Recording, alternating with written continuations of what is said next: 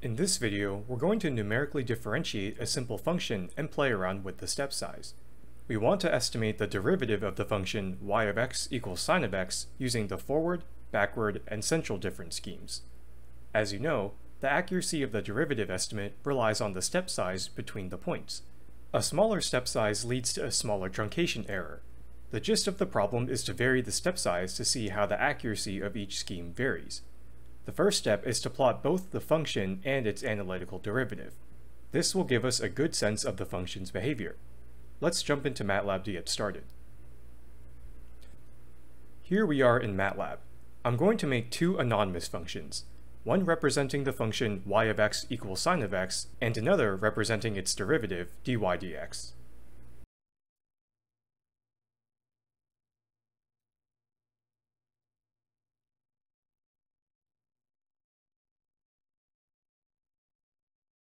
The black line is the function y of x equals sine of x, and the red line is its derivative cosine of x. In this problem, we'll be differentiating about the point x equals 2, which we can see on the plot here.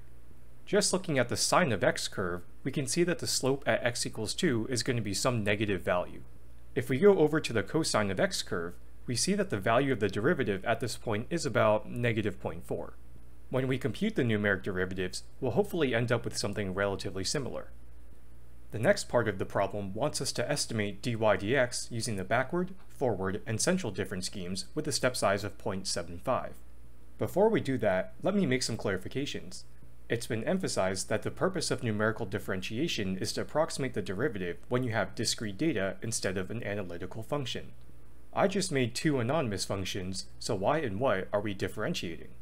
In a sense, I'm using these anonymous functions to make my own dataset consisting of just three points, x equals 2, one step size ahead of x equals 2, so x equals 2.75, and one step size behind x equals 2, or 1.25, plus their corresponding y values.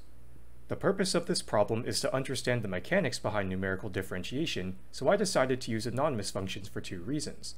First, it's really easy to create my pretend three-element dataset from anonymous functions. Second, we want to compare the numeric estimate to the analytical derivative, which is also easily done with anonymous functions.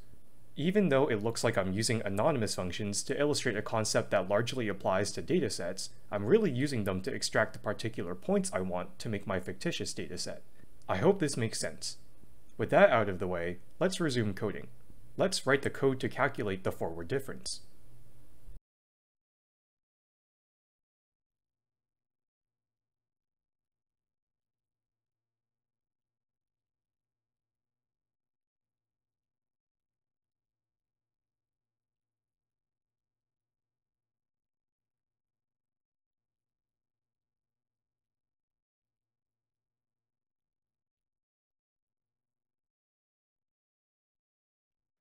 To calculate the forward difference, we divide the difference in the y values of the future and the current point by the step size.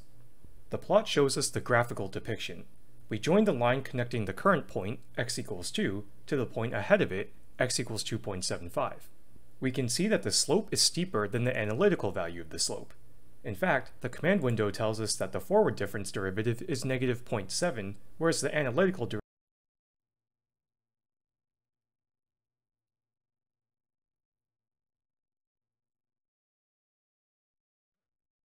we can see the backward difference has a much more moderate slope which underestimates the actual dy dx value.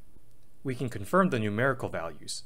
The backward difference derivative is negative 0.05, whereas the analytical value is negative 0.4, which is a pretty stark contrast. Now let's do the central difference.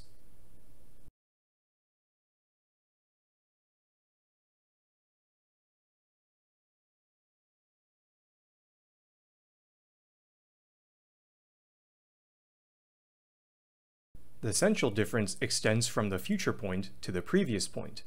The slope looks much closer to the analytical slope than the forward or the backward difference. It's still a little bit off, but it's definitely the best of the three. In fact, the central difference is just the average of the forward and the backward differences, which is the case when the step size is uniform throughout. I hope you understand why. Alright, let's do the last part of the problem. We want to compute the forward, backward, and central differences at x equals 2 using a step size which varies from 0.1 to 1 in increments of 0.1. We also need to compute the percent error relative to the analytical derivative. To do so, we'll write a for loop and iterate through each step size. The code in the inner body of the for loop has to work for each derivative scheme, but each scheme requires different data points. I think the best way to tackle this problem is to nest a switch statement inside the for loop to control which type of derivative we'll calculate. Before we do that, we should probably define some parameters and storage vectors.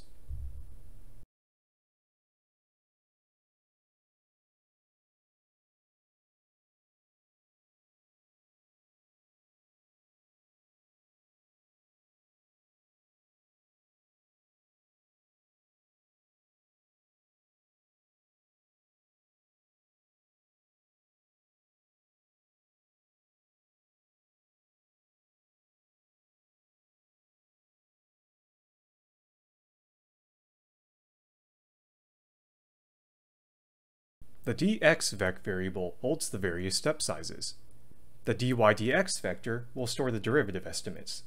The colors variable is a matrix of RGB values which I'll use to change the plot colors later on. The turbo command is one of MATLAB's preset color schemes. This is just a formatting thing. Finally, the scheme variable is a character vector indicating the numerical derivative scheme we want. I just set it to forward for now, but we'll be able to change this later to backward or central. Now let's write the for loop and the nested switch statement.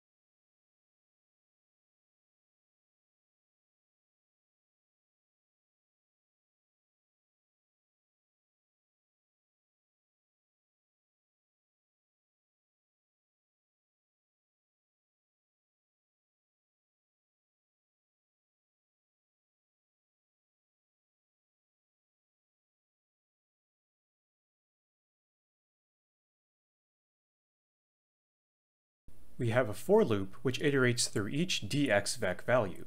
Inside the loop, we put a switch statement to control what to calculate based on the derivative scheme we want. Right now, I only have the code for the forward difference, but we'll expand this in a bit. First, we plot the forward difference, which is just the line connecting the current point to the future point. We then calculate the forward difference using this formula here. If we open the plot, we can see the graphical interpretation of increasing the step size. It's kind of hard to see from this angle, so I encourage you to zoom in and play around with the plot on your own.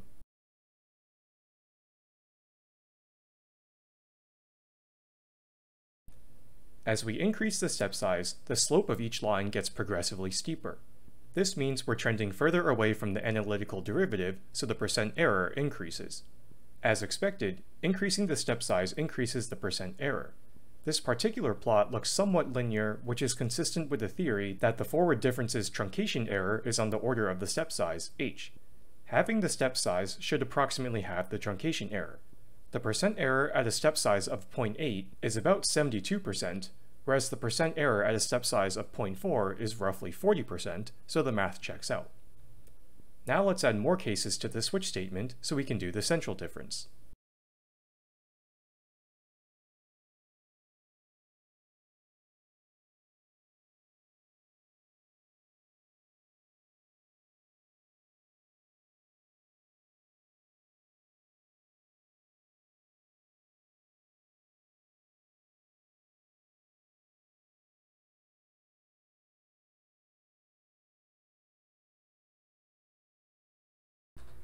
And now we can see the effect of the step size on the accuracy of the central difference.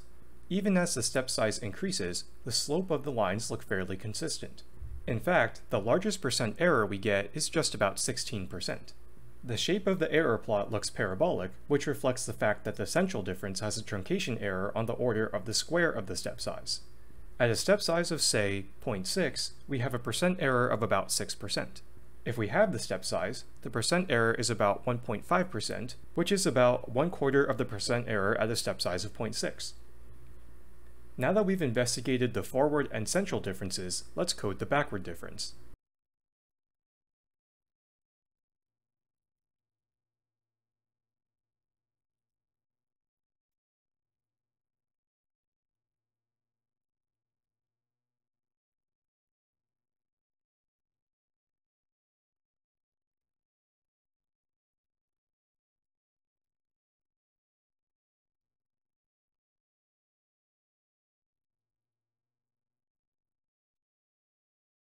The backward difference becomes increasingly more inaccurate as the step size increases. In fact, we know that the function has a negative slope at x equals 2, but some of the backward differences we see actually give a positive slope due to the function's geometry. The percent error plot looks much more linear than the forward difference.